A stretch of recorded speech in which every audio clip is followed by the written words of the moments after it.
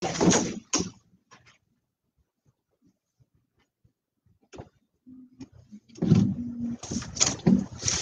morning, friends. I think we are live. I think so too. It's a pleasure introducing uh, you friends to this group of graduate scholars from Harvard School of Education. We have recently conceived uh, Education India initiative through which they are going to mentor teachers, students, educators, policymakers from India and maybe from rest of South Asia also about the need for education reforms in our part of the world. So uh, I'll be passing on the mic for a round of introductions. And meanwhile, we'll also be asking you to join us with your questions. You can ask your questions about the entire education system, how possibly we can go ahead from here, and what are the problems and what are the possible solutions. So here we go.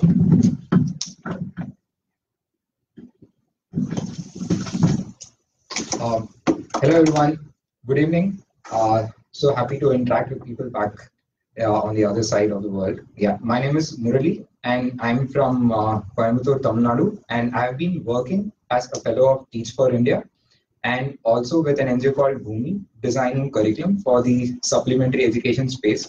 And also I've been traveling around visiting alternative schools in the rural spaces. So I care about uh, decentralizing education and making education as relevant to the communities as possible. And uh, more work that I see in the society is trying to connect to our own immediate environment and then connecting to the outer world. So know about what is the environment around you, what are the possibilities around you, and then also connect to the bigger picture. Yeah, that's what I care about, and I call it native curriculum. Yeah. Now passing it on to Kumkum. Good evening, friends. Uh, my name is Kumkum and I am from Delhi. And uh, before coming to the Graduate School of Education, I have uh, I was working in the education space as a freelancer, and I work with an NGO called Yuva Parivartan, which works with school dropouts and how vocational education and livelihood training can basically change their lives because they don't have access to formal education, schools, colleges so how can we find alternate ways to employ these people and help them make better their lives? Uh, the main areas I was working on with students from school age, college age, and young professionals was on life skills and financial literacy, where uh, I think that these skills are very important to be learned early and which our current formal schooling systems are not doing well. So I'm trying to understand how to incorporate these skills into the current schooling system uh, as per the new policy reforms of skill development, of national skill qualification framework, and other policies. And what are the uh, loopholes from the policy end, basically? We have very beautiful policies uh, on paper, they are well thought and well documented, but when it comes to implementation, there are loopholes uh, from the state capacity side, from at the district level, at the school level. So I'm trying to understand those loopholes and how to cater them from the policy perspective while designing and implementing. Thank you. Some people are writing that the video, the, the audio is not clear. Can you please keep the mic a bit closer? Hello everyone, it's really a big pleasure talking to all of you. My name is Payal and I've been working back in India with non-profits like Azim Premji Foundation and Kaivalya Education Foundation for the last 10 to 12 years. My experience has largely been in the large-scale system reform and one of the things across these 12 years that has troubled me consistently is that how there is this general perception that government school teachers, government school administrators do not want to work. I mean, there's a challenge to their their will, their intention. And I think that's a really, really disturb disturbing trend in a country like India where almost 70% of the education is dispensed through the public education system. So um, I think what I really want to work on is this whole idea of creating a really professional identity for teachers and administrators and also helping people understand that the system has a context. It, is not devoid of a context and it has its own concerns and it has its own problems. That doesn't mean that the invisibility of the context creates a perception which labels most of the people as redundant in the system. So I would really like to direct all my efforts in making the public education system as professional as possible. Hello everybody, good evening. Uh, घर पे लोगों से बात करके बहुत अच्छा लग रहा है. Uh, my name is Aditi. Um, I am studying international education policy here at Harvard. Um, before this, uh, when I was in class 11, I was really troubled by how everything we were doing was about exams. So I dropped out of school and I pursued uh, open schooling, which was uh, a really flexible, uh, good option. And that's got me thinking about how in India, uh, everything is decided by the examinations that we need to do. Um, and that's uh, that's got me interested in three things. One, like Murli said, what are alternative ways of um, designing schools? Everything doesn't have to be rote learning, doesn't have to be you know exam prep all the time. Um, the second is uh, if we only have people who um, are in the practice of rote learning for exams, we don't have a thinking and a questioning democracy. Um, so we really need to reimagine spaces and environments where people can ask questions um, without fear. Uh, and that's something we need to develop early in children. Uh, and the third thing is that um, I'm interested in what are the skills that we want to build in our children apart from academic skills. So creativity, critical thinking, um, with all the challenges facing the world, it's going to be really important that we figure out what are the skills we want children to build and how we can do that. So these are my three areas of interest. Thank you. thank you everyone for being here and uh, thank you Faesal for uh, arranging this, setting this up. Uh, I'm very excited. Uh, my name is Sanjul Bhakri. I have been uh, living in the US for the past two years and uh, been working in IT over the past decade. And one of the reasons that I would want to do a master's, I am pursuing my school leadership program in HGSE, which is the Harvard Graduate School of Education, is to build schools which are acting as platforms, not just uh, tools to build engineers or doctors or uh, lawyers. Um, just a context, we, uh, as 1.3 billion uh, Indians, we produce around 30 million uh, engineers every year, but we did not even get one gold medal in the Olympics. So uh, we want schools to think about the overall development of students, not just the curriculum uh, design and curriculum uh, cognitive skills. That's what I'm doing. Thank you. Hello everyone, my name is Mehnaz and I'm very happy to be here and sharing the space with all my colleagues. Um, I have been working over the last three years in a special needs lab school back home in India. Um, and while being at this school, I've realized that the teachers and parents have the greatest intentions for children with learning disabilities, but we often don't know how to cater to their needs. And there seems to be a limited understanding in this area.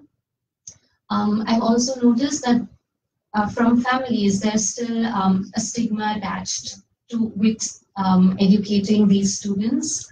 And uh, therefore, I feel while there's is the volume covered? Yeah. yeah. Oh, it's fine. Yeah. While there's limited. Um, Sorry. Um, so I think my goal is similar to what Aditi was sharing. Um, I want to understand how learning can be personalized to cater to these students. If some students want to want or study best at home, um, they should have that uh, opportunity and how we can capitalize on those resources. Thank you. Hey everybody, I'm Viveka. It's so nice to talk to you all. Uh, I'm here in the Learning and Teaching program at Harvard. Uh, I worked as a fellow with Teach for India. I taught uh, middle school for two years. I taught seventh and eighth standard. Uh, I taught maths and English. After that, I worked for a year in Chicago in different after school programs and in school programs that uh, supplemented the classroom.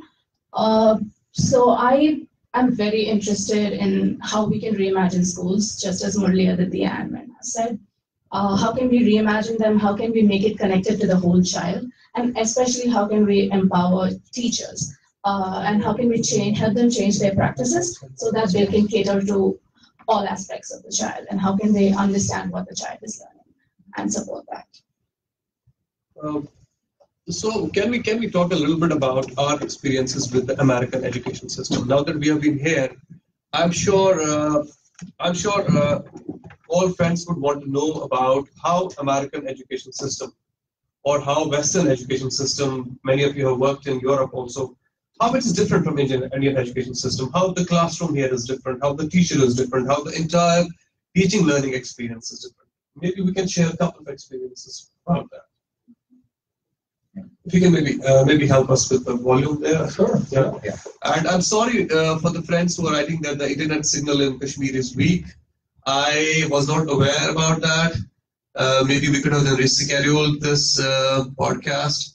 But I'm sure a lot of people have still joined us. Maybe those of us who cannot join us live this time can still watch this video maybe later on. Thank you. So we are talking about the experiences uh, with American education system. Um, one example that I uh, quote is in my undergrad, I used to have classes from 8.30 in the morning until 4.30 in the evening. So it's almost like uh, you have, uh, do the math, 8 hours a day, 5 days a week, so 40 hours of class. And the amount of workload related to 40 hours wouldn't be that much. But here I have maybe 3 hours of class a day, but the effort that I put to prepare for that is almost like 10 hours, 15 hours related to that. So here I feel education is a lot more intrinsic where people bring in their motivation and enrich the space around rather than just a listener mode, but an active participatory mode, which is something that I enjoy a lot. Yeah.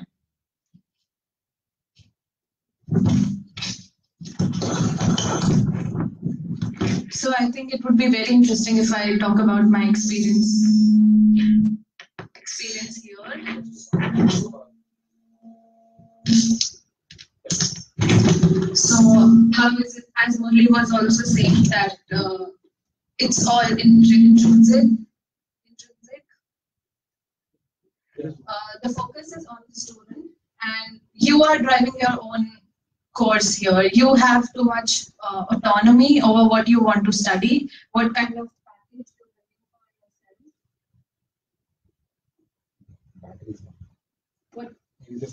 basically uh, what's it like uh, you can you have a you have a whole range of courses out of which you can choose and then you get to choose you get to pick your own choice of courses depending on the kind of interests which you have maybe kumkum can maybe project the voice till we get our mic back Okay, so uh, what happens is you you are directing your own learning. You have uh, autonomy and flexibility to choose whatever you want to study. It can be anything in your school, outside your school. If you think you want to marry behavioral economics with how it can be taught in the classroom, or how design thinking can be applied to policy, so all these kind of interdisciplinary approaches can be uh, are available here, and you're free to choose them. So you you just have to work on what you think is good for you and you have all the resources here so the entire approach of uh, of uh, where in india it's more directed by uh, the teacher. It's here directed by yourself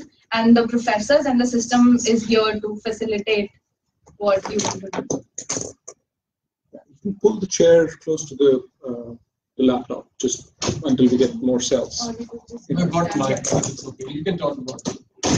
I think it's it's very similar to what Kumkum just described here. It's the um, um, so it's like a menu. It's like a Right. huge menu available to you based on um, uh, based on what uh, interests that you may have. I think what happened with me personally was also that uh, um, the availability of menu gave me more understanding of what all is possible within my interest area. So when I when I came here, I was imagining learning and teaching to be um, uh, still from my frame of reference that this is the X Y Z things that I wanted to do. But when I looked at the hundred things that were available here, it also opened my mind to think about learning and teaching in a completely different kind of a way. So I think that's the function of options, this whole thing of options that played for me. Another thing that I think is working really well for me here is uh, the accessibility to professors. Um, it's not an extremely hierarchical relationship with your professors that you share. They are really accessible. You can go to them with any sort of question. Uh, they can be your brainstorming partners and not just somebody who would like kind of uh, tell you what to do, but they can really partner in thinking through the questions, the thoughts, the basic vague ideas that you might be grappling with. So I think that's an interesting uh, experience in the sense that uh, I think that is what we are trying to turn around in India. This uh, this whole tradition of guru shishya pranali jo hamare because of that there is uh, the respect has kind of translated into reverence and reverence to fear for teacher. But I think uh, the whole reimagining of teacher as a facilitator, the education system as a facilitator of an individual's growth, that seems to be an interesting experience here, and I'm taking a lot from that.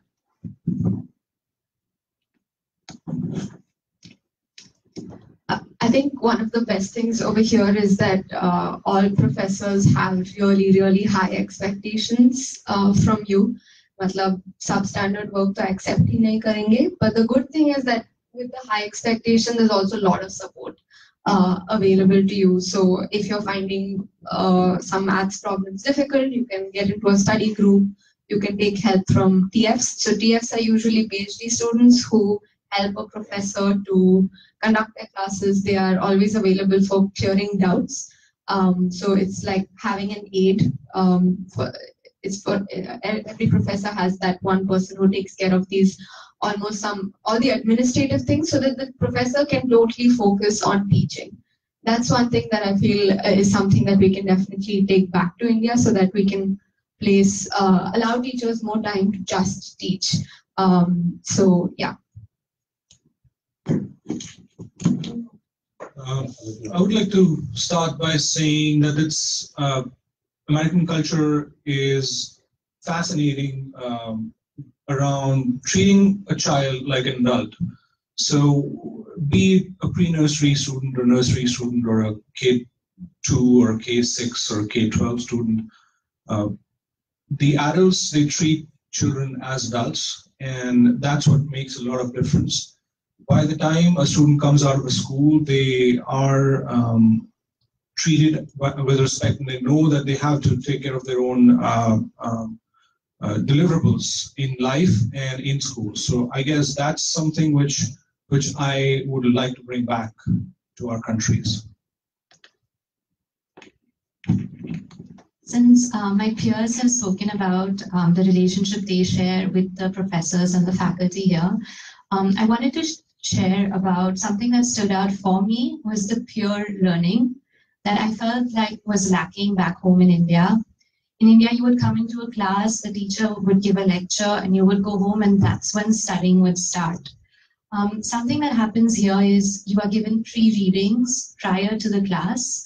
So you prepare for the class, you come into the class with that background knowledge. So there's this foundation, after which you can interact with your peers, your um, professor um, be coming from that background, which I thought was different and um, has helped me a lot in the process of learning. We have a problem with some, I think we have audio problems. It's okay now. All right. Uh, I think one thing I would like to add to what everybody has said, especially what Payal said,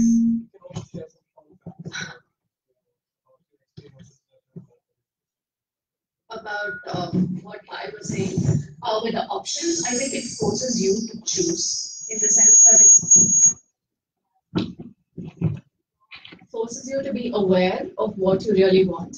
Uh, and it, you have to think for a while. This is what I want to do. This is what is relevant to that. I think it gives you a choice of what you want to be. Otherwise, you're just going by the system and they're just moving you along and you're not thinking what you want doesn't have, and the menu is giving you like it's forcing you to choose and reflect on and why you're doing what you're doing. Can I share my fun fact? Maybe that will open up the discussion and make it a little bit less less formal. So one of the most uh, I think interesting experiences which I had with the American education system was that uh, I remember a class here where the teacher came and he was wearing shorts and he was wearing a chappal and he was not necessarily very formal with us. And we had the freedom to address him with his first name. And that was kind of a surprising thing for me because back home how we treat our teachers is like our teacher should be he must be very well dressed. He must be having a uniform. I remember when i was director of school education a lot of people told me that oh teachers should have uniform in fact.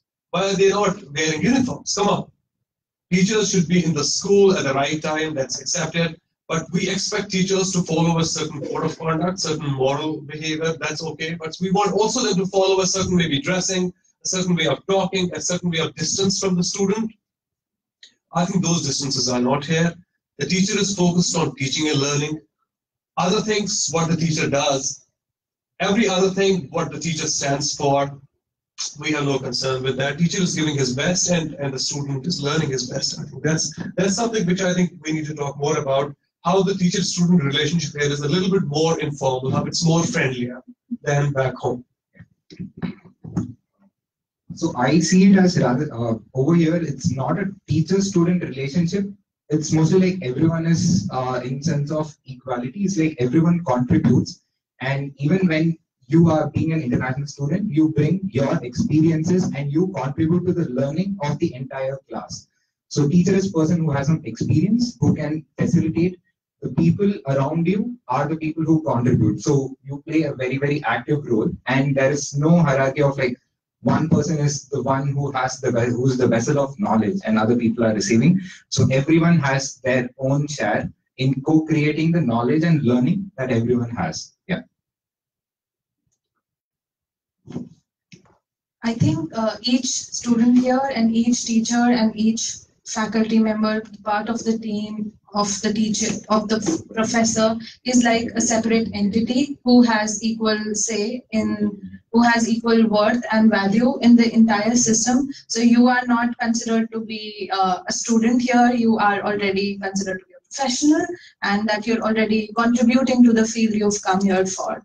So you will be listened, you, your thoughts will be valued equally and yeah, that's what we were saying that no hierarchy, no formal, so it's totally normal if you're going on uh, with a lunch with your professor. So yesterday what happened, we went on a school visit to Maine and in our car there was a professor and for half of the way I didn't could I, I wasn't able to make out that she was a professor and I was uh, thinking that she's a teacher, uh, she's a student.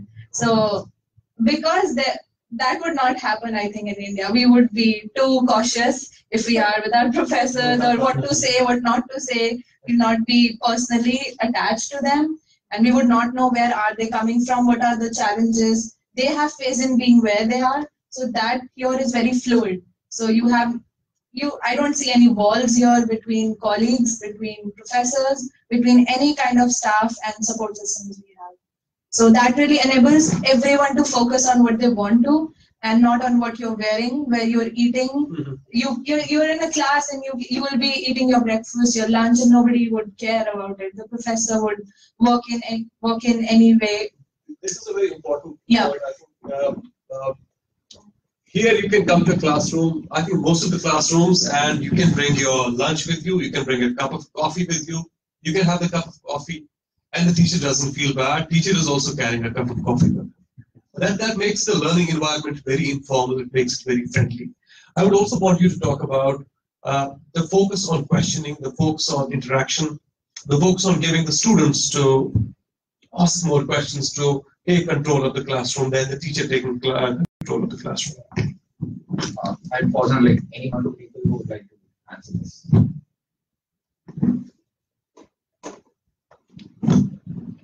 So um, not just in universities and colleges, uh, we we just saw that school yesterday, and uh, a lot of feedback coming from students who were like 15, 14 years old, and teachers incorporating that that change in their overall process. That shows that the mutual respect is given to every individual, every student. It was fascinating to see how students were so energized and so uh, empowered to challenge their own teachers and the process. And it's just not uh, dictatorship in a, in a school, in a K-12 school uh, especially. So uh, that's something which which we should be looking uh, into uh, back home. That in in K-12 schools, Can we should tell be. a bit more about what these K-12 schools are like? Because I also want to understand what, what, what how these K-12 schools are like our schools back in Calcutta. Sure, sure, sure. So K 12 is essentially kindergarten to 12 standard. That's what they call it. now, uh, they have split these schools into three parts. Uh, it's elementary, uh, secondary, and uh, I think it's high school. High school is from 9th standard to 12th standard. Elementary is, I think, 4 to uh, 6 or 7. Um, and then elementaries uh, are, the, are the younger uh, kids. So they were implementing a, a competency-based learning, the school that we visited uh, yesterday. And one, of- one of the biggest parts of that competency-based learning is building confidence and making sure that students are designing and building their own path to a competence. So they will, teachers will tell you what you have to study, like you don't have a choice uh, if you choose to study math or not, but you'll have a choice to design your path to learn math in your own way and what works for you and what uh, what makes it work or what makes it tick for you. So that's something which which is pretty unique and pretty interesting uh, to see in, in the schools here. And uh, teachers are pretty receptive of the feedback, and uh, they'll bring bring it back to the principal, and they will work um, to actually bring that change in the classrooms. So that's fascinating. That's something which I think culturally we have to bring back to our country. I think one fun fact and also um, one way that has really changed my thinking is first uh, week we have a shopping period where we can go listen to professors about the courses that they are offering. And for this one course, my professor came with his five-year-old daughter, and she was really cute. But what he was really doing was saying that number one, uh, he was being a role model because as a father, he was saying, you know, I have responsibility to bring my like she's sick, so she had to stay with one of her parents. He brought her to class, and that was completely fine. Yeah. Uh, and the other thing they keep, t- I think they, they tell us is that you have a life outside of your work and your academics, and that's okay. Like you don't have to be ashamed of it. You don't have to completely hide it, and it makes the professor very relatable. So हमें मतलब उतना डर नहीं लगता है. He's also like a normal husband, father, whatever. So that was really nice. Fun facts about classrooms here.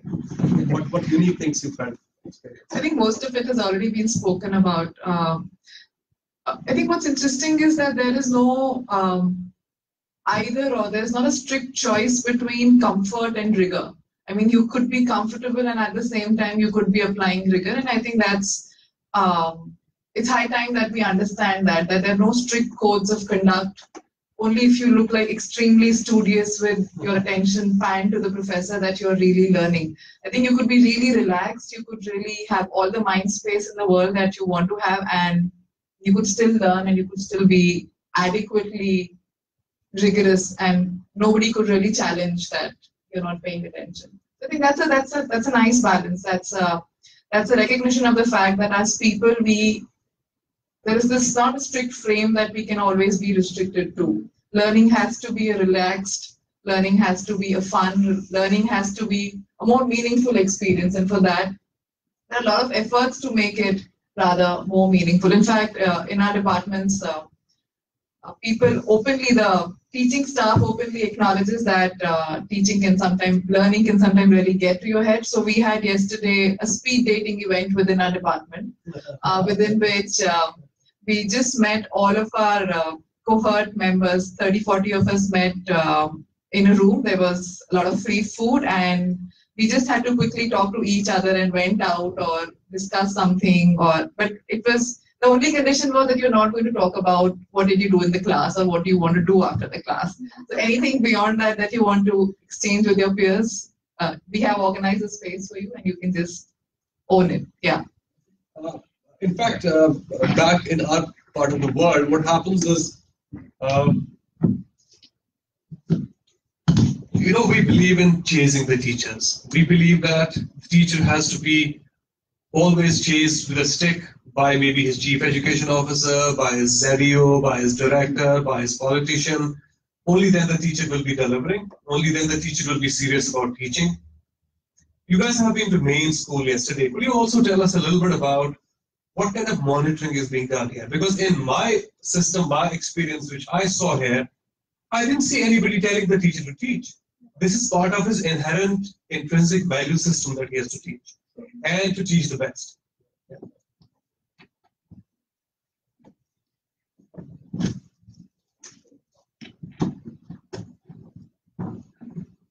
Uh, I think not only in the Maine school, but I've visited about three or four schools uh, in the recent past, uh, in the past one month. And uh, some of the best schools that stood out, and the principals had this one line these teachers are amazing teachers. I've hired the best teachers possible, and they're doing a great job. They are designing the lesson, and they know how to make the student learn. And they know how to engage the student. My job is not to monitor the teacher micromanage. The teacher is doing such great work that she should be allowed to but not really be monitored or like checked or assessed all the time. But also, I think the important point is to hire somebody who really wanted to teach in the beginning. And that was an important fact that they wanted to, the, they had an interest in that teaching itself. And when they hired this kind of people, they didn't have to monitor but you, you, you, you, it's a very important point which I want to score underscore uh, so that we can talk a bit more about it. So here, uh, the system is that the schools enjoy a lot of autonomy. The school autonomy is there. That means uh, the, the school principal or the school headmaster, he has the freedom to hire teachers in our part of the world, even the principal secretary does not have the power to hire teachers. There has to be a very detailed process.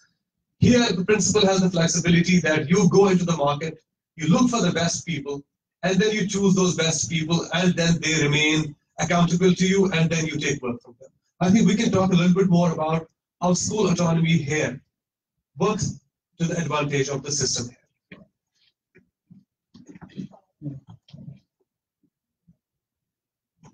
So, um, just while we are kind of comparing the American and the Indian or the South Asian uh, uh, education system, I think, uh, like Faesal pointed out, uh, autonomy definitely adds a lot of value to uh, because it gives you choice, like how we were sharing a few minutes back that because we had choice here, our experience of getting educated here is significantly different than not having choice. I mean, even um, that whole psychological motivation that I have that this is what I have chosen for myself kind of drives me.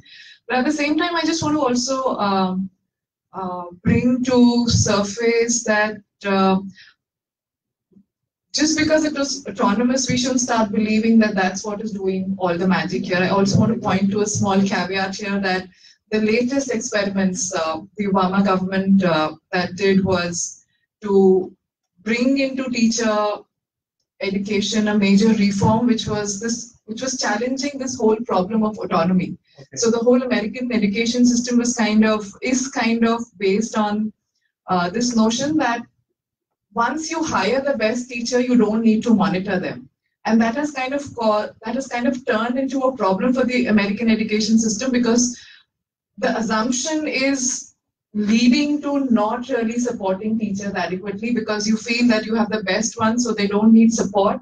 Uh, anybody can teach after like education does not need continuous uh, uh, development continuous support and all of that. So current uh, reforms are really trying to turn that upside down and they're trying to see that performance has to be a measure of teaching. Just because i was really good at in my bed kind of a training here that does not kind of guarantee that I will be. So yes, there are really supportive structures which lead you to get into system people who are really interested, but that doesn't mean that that's kind of a, a solution, a Midas touch to all the problems that we. So I just wanted to bring this little bit of caveat also to the discussion. My point of highlighting this was because it, it's also related to the kind of dignity which we give to the Sure. Because if you can trust your principal, if you can trust your headmaster with hiring his teachers, with running the affairs of the school, only then possibly you can develop a certain sense of leadership in that principal or teacher. And that's how I was connected.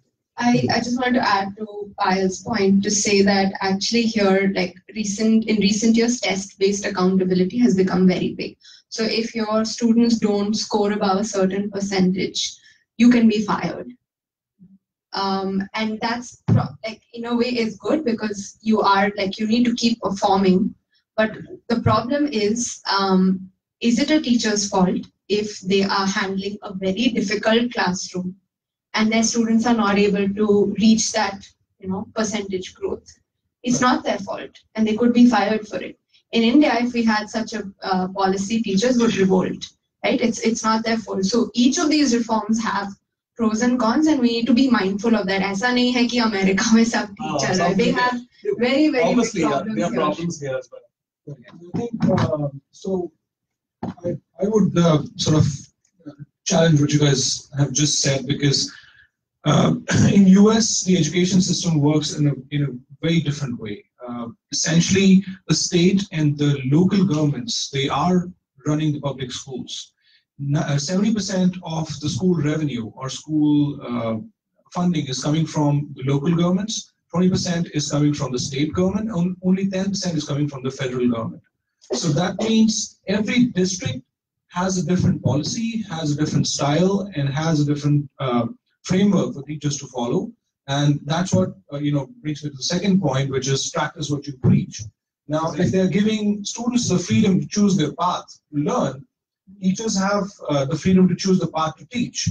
And uh, some teachers they do have uh, some ground rules to be in the class and some uh, some teachers they just uh, are super flexible and they can allow students to you know study remotely and then bring in their assignments in different formats which is something uh, which shows that you know we we're giving the freedom not just to the students but to the teachers as well and that comes from again it's a cycle uh, that, that has been running for generations uh, being a teacher is a great thing here uh, people choose to be a teacher. And uh, as you can see in Harvard uh, Graduate School of Education, we have uh, around 600 students every year coming who are teachers who want to be in education, who have chosen this field, and they are doing a lot of research on improving this constantly. So I think that as a culture, they acknowledge the value of teachers and they have uh, tried proactively to give them uh, the financial support that they need to be a good teacher, to be uh, a good professional.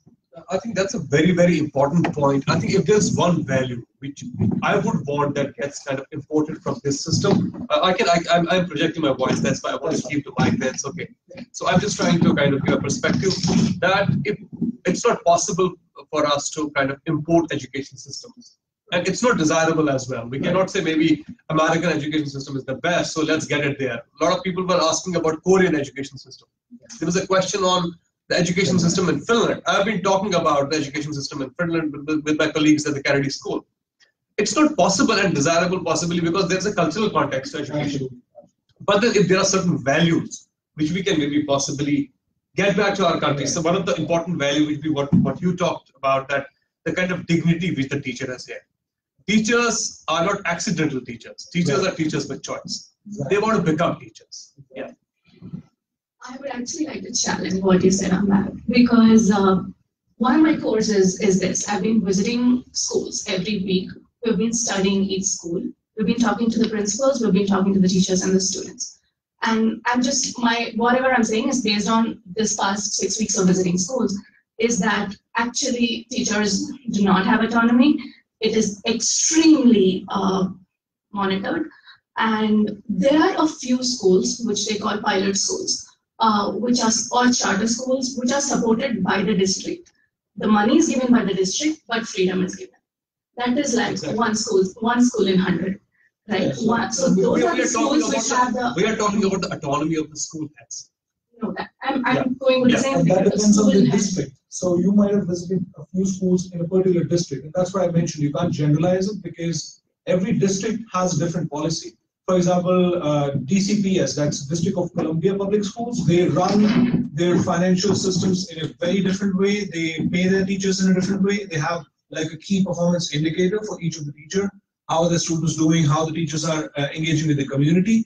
Uh, and uh, Boston Public Schools, they are running in, in a totally different way because they are funded uh, in a different way. They're following a different framework. So that's what uh, you know differentiates the overall model of American education is that uh, for example, in, in the districts of Maine that we visited yesterday, one of the principals, he said that my daughter is coming to my school, but I live in a different district. And those districts are doing things differently. But I want my daughter to come to my school because we are doing things differently. So they have a choice to do uh, to do things differently, go uh, different districts and do uh, uh, their education and learning in a different way. And that's what differentiates, and that's what uh, where the autonomy comes. Like local districts, they have the power to change uh, and reform their own schools if they choose to. If parents are loud enough, the local government are very powerful to impact the education system for that local district. That's that's I think a cultural uh, thing as well, but that's that's what happens. I, I have a question and I want uh, to ask you a question. Yeah, yeah. Um, so, um, I mean, we can endlessly debate about what's good here and what's bad there, and uh, I don't think No, that's no, a point. exactly. I think um, I think what you pointed out in terms of uh, what is in terms of values, what is in terms of certain practices that we can take back to our country. Um, so uh, just because you've, you've headed the uh, education department in Kashmir, and I was just wondering that, um, like we, we, we're talking about teacher autonomy, so I'm just kind of interested in having a conversation around that. What would it really, really take in our country to give teachers some, if not, I mean, I, I'm sure 100% autonomy is going to be a long, long way, but what we could really do to give some sense of empowerment to our teachers, our principals. I was recently working with school coaches, and um, the government of Gujarat has recently done an interesting uh, initiative. They've kind of opened up the post of the coaches to anybody. Anybody can sit in the exam and come to be a part of the coaches. And I spoke to many of them. They were very young, aspiring people who wanted to contribute to education. But eight months down the line, they were like, "Kuch nahi hoga. We don't No. have the freedom." So I'm just, I just, Yeah. I'm just wondering that if, if, autonomy is something we are feeling here as a group that is really adding value to the system here, what is it that we can really do to bring it back? I mean, I think that would be a more, that is, that's a conversation that I think I'll be able to take something back from that. How, how is it that I work in, go back and work that I can talk about autonomy, I can advocate for it, and I can really put in place some systems that you could do. So if you could share some of your experiences around that.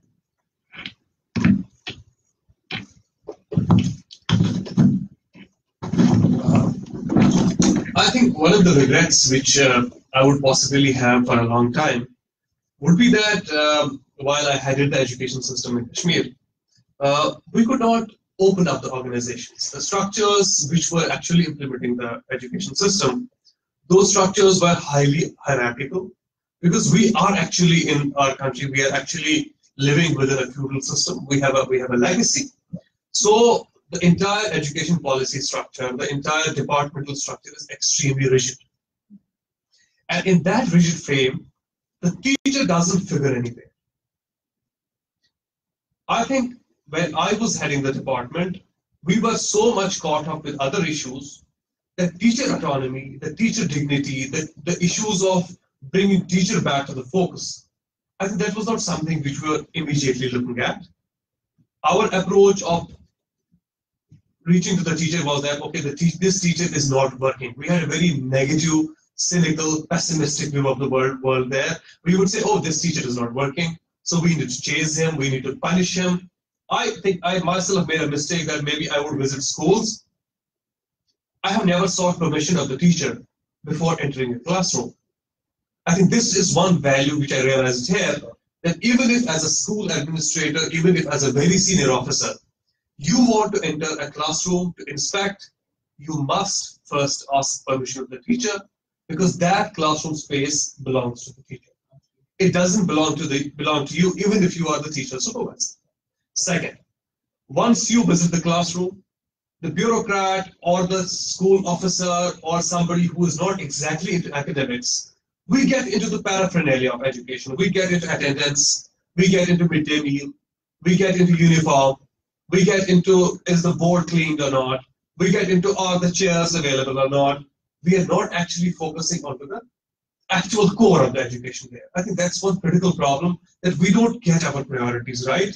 And the day we start actually getting away from our hierarchical feudal structures, I'm sure we'll be able to focus on school autonomy and we'll be able to trust our teachers. Mr. Mohammed Rafi Saab he has been a director of school education there. his comment was also, I was checking on the, on the, on the comments, he also thinks that uh, school autonomy is something or the teacher autonomy is something that we need to work upon and we need to actually trust our teachers. I'm not sure as a society are we ready to trust our teachers because the trust on teachers also generates from a kind of societal trust on teachers. First, when the teachers have dignity in the society, only then the teacher will have dignity in the department. Uh, extending this conversation, uh, one thing that I enjoy a lot over here is the independence that I have as a student.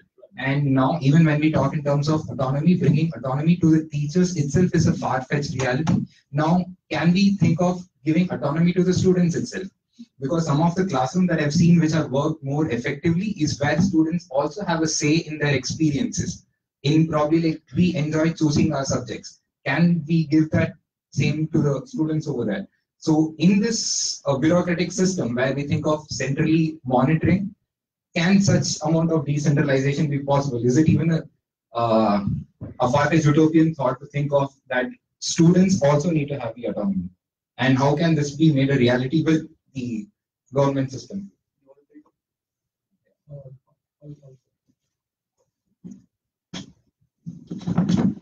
Uh, I think talking about autonomy should is incomplete without talking about providing the skills and tools for autonomy. If you give autonomy to somebody who does not know what to do, uh, that makes yeah, it more challenging. It's risky. Uh, it, yeah, it is risky. Like uh, if you give auton- autonomy to a teacher who does not know how um, how a good teacher works, then it's a challenge. And same goes for students. Now, if you give them a proper framework, and that's what uh, the Maine schools are doing, they uh, they went to a research company, they brought uh, the research done by that company and they brought that framework. They trained the teachers, they trained the students, and once that training was done, uh, they had the skills and the will to do uh, and bring that change to the classroom. And now, if you talk to any student, uh, uh, there were around 2,100 students in those schools. If you talk to any one student, they will know the framework by heart. They will know what they are supposed to do, and they will autonomously do it and that's what goes with the teachers as well. So I think asking about um, autonomy without thinking about how can we provide the tools and enable them and empower them to use those tools independently, I think that's something which which is a bigger question. Like, what do we do to make sure that they are able to do what they want to do by themselves? I have an example to share. Yeah. I think I was telling this to uh, Viveka yesterday that, um, like, we all see Finland as a pinnacle example for a perfect system of education. And uh, one thing which they do is give a lot of autonomy to their teachers. So one African country actually tried to copy that, and they gave too much autonomy to their teachers, but it drastically failed because. Okay. And later they realized that they, their teachers didn't even have basic competency levels to deal with autonomy, which a very even low performing teacher in Finland would have. So while uh, this also brings to the aspect of how can we import policies or systems from other countries on to what level? And uh, how these large scale assessments like PISA and TALIS should be interpreted in, in a country specific context. We would, it's very easy to go and say, oh, Shanghai is performing highest on PISA or this country is doing this, but we need to come down and ask what, what will suit in our context. And we and these policies or changes will not work in isolation if we put the entire responsibility on the teachers of a school leader or on a just on a teacher or just on the students the blame game kind of thing yeah. we do that will not solve anything. Your point earlier that you know principals have the autonomy they're trained to uh, get that autonomy. They're not like uh, yes. following the status quo and they've been teaching for a few years and then they become the principal. No it doesn't work like that. They have to be properly trained and uh, educated to get to that level so that they can, you know, they have the freedom to. We can maybe now talk about one idea which possibly we would want to see being implemented back there once we go back. So I'll start with mine. One idea which I think is something which is very important for us is uh, how do we possibly reduce the, the stress level in the classroom? Uh, I had to recently send my kid to the school. I did show up for a lot of schools, and I think for all those months and weeks, I think one thing which we're worried about is that how will our kid deal with that stress in that classroom? Because it's very difficult to send your child to, as, child to an environment where we know that what kind of relationship is going to be between the teacher and the student and the student and the other students. I mean, I remember myself, it used to be a very, very stressful feeling to go to the school. We don't want to go to the school because it's not fun anymore. So I think how do we make our schools fun? How do we make our classrooms interesting for the kids to go the kid would want to go to the school. You don't have to push him all in time. You don't have to beat him all in time that, oh, you have to go to the school. What kind of incentives can we maybe create within the classroom for the student and within the school for the student? So the student feels like going there and learning and making the learning environment a bit more friendly. I think that would be one reform which I would be very interested in getting implemented back home if I ever get a chance back in education. Um, um, let me start with just an uh, example of what I want to be. So just like how a seed grows, uh, the seed grows into a tree, and tree can be the tallest only when its roots are the deepest. So I see education as where we learn about probably uh, all the rivers in India or all the different like uh, soil types all over India, all the different resources. Do we know about what are all the resources near us? So are we aware of what are all the uh, ponds or probably the scientific uh, resources near us and then think of taking it further. So unless we are connected to our immediate surroundings and we just think of taking for uh, going to some other place, education we will be only a tool to uproot you and take you to some other place rather than apply the mechanical knowledge or the IT that you learn in bettering the world around you. So I will look at making the curriculum and content as relevant as possible to the immediate surroundings. Okay, I'll uh, that is one change, making the curriculum as immediate and relevant to the people. Yeah.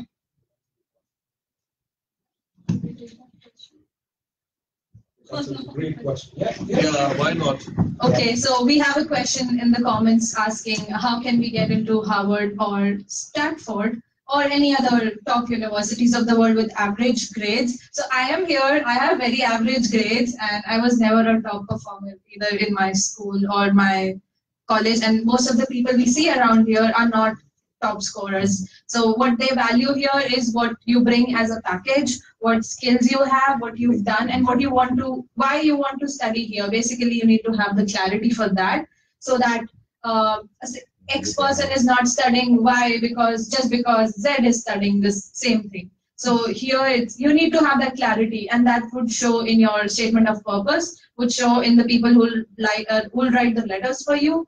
Uh, so clarity is very important, and uh, how you bring here what and what you want to study, and then take it forward to do what you wish to. So that line of thought has to be very clear with you. And yes, definitely different components of applications need to be met but it's not score uh, score centric here especially in the us system however in other countries i think uh, in, in uk i feel that there's a lot more pressure given on academic ability uh, but here i think it's more of your overall in overall capacity to be in a system and to contribute so that really depends and obviously it's a it's a very uh, brief way to answer that question but we could uh, talk about that in detail in our any Next other session. Hopefully, yeah. Yes.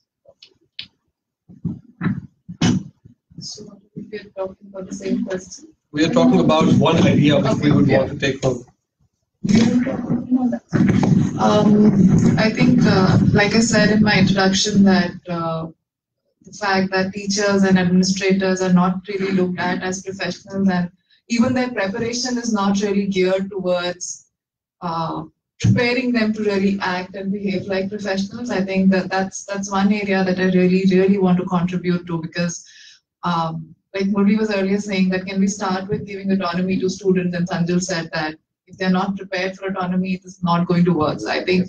I, I just really worry that is if starting from student is the right space or not. I think I, I would really like to start at a place where um, I mean, uh, just imagine an autonomous teachers sitting in front of a scared teacher.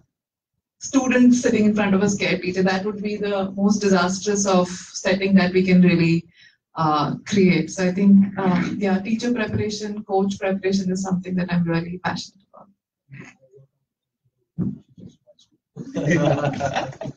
Um, all right, so um, I'll, I'll start by kind of answering uh, your question. Uh, one factor that um, I mean, I faced the same thing when I was a kid. I was super scared um, to go to school, and uh, one of the factors which impacts the, the, liking or disliking or fear or happiness of a child is uh, personalized learning. For example, um, if you ask a fish to um, to jump a tree, and then you'll be graded on the basis of that. Of course, the fish will die of fear um, and die coming out of the water. But uh, I want to build schools uh, in India which are focused on personalized learning. Every student has innate abilities to do something or the other. We need to identify that. We need to uh, cultivate that and make them the best versions of themselves. I think that's something which uh, schools are not doing. They're just standardizing everything and making uh, sure that they're measuring everyone with the same stick. That doesn't work. Personalized learning, competency-based learning, and um, giving them a platform to grow is something that I want to do, and I, am building schools around that. Um, I think my takeaway is similar to Sanjal's. Um, I've been doing this course called Universal Design for Learning um, we were studying how scientific um, neurodiversity and how it explains how every child is unique and how it is important for us as teachers to ensure that we are catering to the needs of every single learner. And um, through different principles and frameworks, of course, um, we've explored a lot of assistive technology, but we know in India we don't, may not have as many resources. And therefore, how can we as teachers be creative and still meet the need of all the students in our classroom who are so diverse? Uh, I think my answer is a combination of what Murli said and the discussion about teacher autonomy. I ultimately want to see schools that are very connected to the student. Uh, and for that, we cannot have one standardized curriculum because everybody is so different. So how can we give teachers the autonomy to make sure that they can relate the child and the world around them? And I want to see that in, in schools, and I want to have design schools like that. That's what I want to do.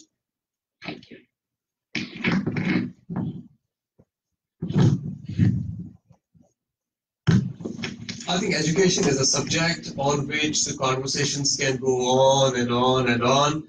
And uh, we have just tried to kind of introduce the subject today. And uh, the kind of comments and the kind of participation questions which we saw coming to us, I think it has given us a perspective on the kind of conversation we would want uh, to have next time as we meet. Uh, we are not going to be able to reply to all the questions and take all the comments.